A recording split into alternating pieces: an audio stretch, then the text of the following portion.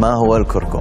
ينتمي الكركم إلى عائلة الزنجبيل وخواصه التي تساعد على الشفاء موجودة في ساقه في نفس الجزء الذي يكسب آه، الطعام اللون والمذاق.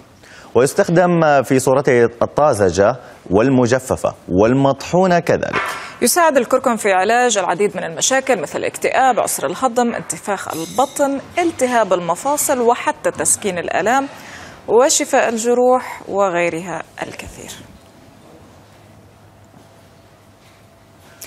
للمزيد عن هذا الموضوع فوائد الكركم تنضم إلينا الصيدلانيه وخبيرة المكملات الغذائية سمر بدوي صباح الخير يا صباح الخير صباح. الورد هلا كيفك؟ كيف حالك؟ هلا أهلا وسهلا. أهلا هلا حبيبتي كيفك؟ طيب سريع التأخير آه اذا من عائلة الزنجبيل نعم. يعني في نفس الفوائد في بعض الفوائد المشتركة بين الكركم والزنجبيل ولا الفوائد الكركم أكثر أقل؟ لا هلأ طبعا في آه، طب كونه من عائلة الزنجبيل أكيد في قواسم مشتركة للفائدة بشكل عام. أهمها الفائدة الدوره الدم- الدموية اللي هي تنشيط الدوره الدموية. إنه الناحية الثانية بالنسبة للكركم الكركم بفيد كمان بعملية تميع الدم. يعني الأشخاص اللي بيعانوا تميع الدم؟ تميع يعني بمعنى الأشخاص اللي بيعانوا من تجلطات متعددة. Okay. أو تخثر فممكن إنه إحنا طبعا ممكن إحنا آه، ندعمهم بشوية آه، كركم بشكل إنه معلقة متوازنة يوميا أو بشكل كبسولات مثل ما إحنا شايفين هون. لأنه الكركم هلأ حاليا بالدراسات يفترض إنه لا يتجاوز عن واحد إلى ثلاثة جرام تقريبا باليوم. Okay؟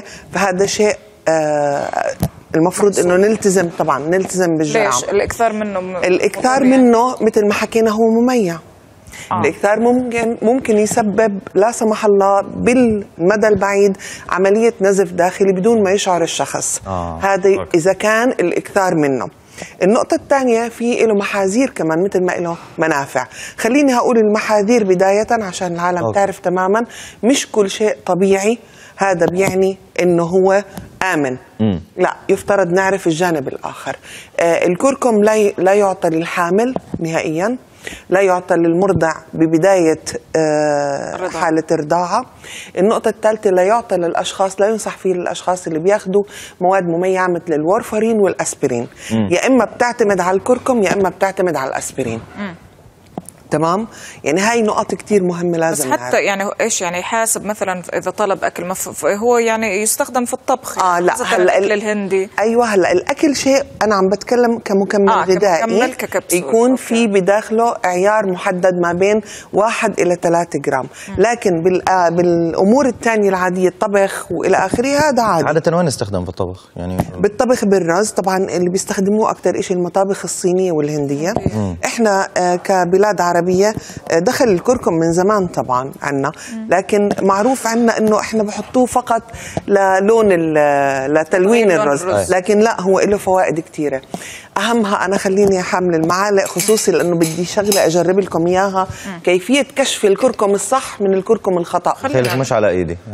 لا مش هو اوريدي ريحته. لا مش أنت اللي رح تكون اليوم. هذه المرة المرة لا ولا ماهرة ولا ابدا ابدا. الصحن يا أخي. لا بالصحن أنا رح أحط هون ثلاث معالق.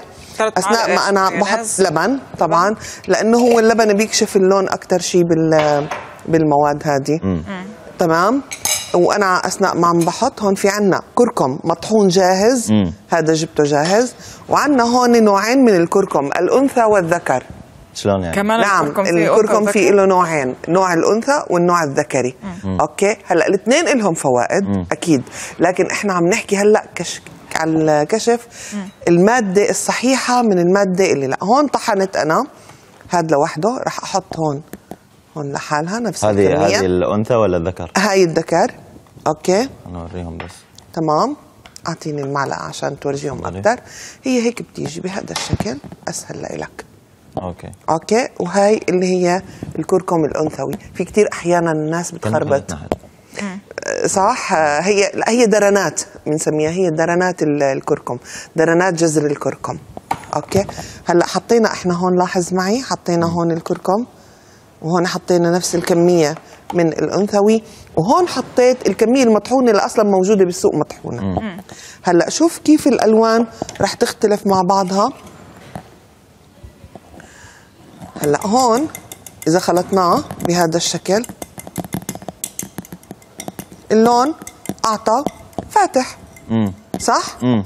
وال والبذ والحبوب الصغيرة المطحونة بقيت مثل ما هي تقريبا أوكي. حتى بالذكري أما إذا جبنا وطح وخلطناه شوف لاحظ جيت أنا خلطته هون رح تلاحظ إنه اللون أخذ بطريقة كتير كبيرة نفس الكمية رغم إنه هذا بيعني إنه هذا فيه أصباغ آه، وليس لما يزيد حر. اللون هذا مش كركم في صبغ. حر آه. تمام؟ هذا مش كركم حر. عشان هيك دائما بنصح وبقول يا جماعة أي شخص بده يستخدم أي بهارات أو أي مادة يشتريها مثل ما هي وهو يطحنها في المنزل. آه يعني مش ما مطحونة ياخذها جاهزة. مطحونة جاهزة الأفضل لا. إلا إذا عارف إنه مصدرها 100% ولو فيها شوية تصبغات إيش المشكلة؟ لا ما هو في عندك اصباغ ما بصير تنحط. في عندك ألوان وأنواع من الاصباغ ما بصير تنحط. Okay. Okay هلا. طيب. الاستفادة من الكركم إذا الشخص رح ياخده مثلا عن طريق الطبخ إذا رح يضيفه لأكله أو نظامه الغذائي مش حبوب. إيش أفضل الطرق لاستخدامه بشكل صحيح ويستفيد من الفوائد اللي ذكرتيها؟ أكيد. هلأ الكركم فيه مادة زيتية طيارة. إذا استخدم بطريقة كتير كبيرة على ال- الغاز أو على النار بيفقد فعاليته بياخذ اللهم فقط لا غير بعض الألياف والمادة الصبغيه اللي فيه. Okay؟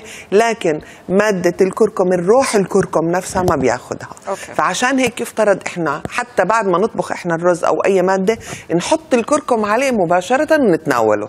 مش نخليه يتعرض لدرجة حرارة كبيرة. يعني ما ينطبخ على النار. لا الأفضل إنه ما ينطبخ كثير مع الهاي. النقطة الثانية إنه آه الكركم كمان في له استخدامات داخلية وخارجية.